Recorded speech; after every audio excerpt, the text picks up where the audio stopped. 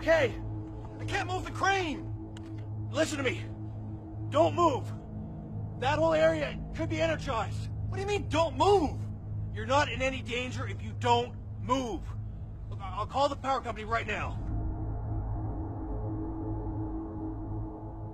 When the high voltage power line has been contacted, the ground around the point of contact can be energized for a great distance. If you can't move the machine out of contact and are in no danger, stay put until help arrives.